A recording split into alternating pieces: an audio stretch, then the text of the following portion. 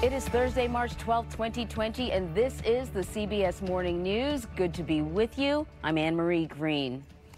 So things are looking a little different this morning. We are coming to you from our Washington bureau this morning. That's because CBS News headquarters in New York is evacuated after two of our colleagues tested positive for the coronavirus. Now they have the network's full support and our mission to deliver what you need to know will not end. And so we begin with this. The U.S. will suspend most travel to Europe amid the growing coronavirus outbreak. President Trump announced a 30 day restriction last night, and it goes into effect Friday at midnight. However, the rule does not affect the U.K. Riley Carlson reports from London.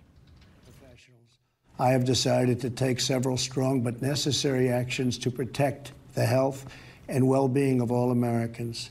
President Trump's sweeping new travel restrictions to fight the spread of the coronavirus come into effect Friday at midnight. People who visited one of the 26 European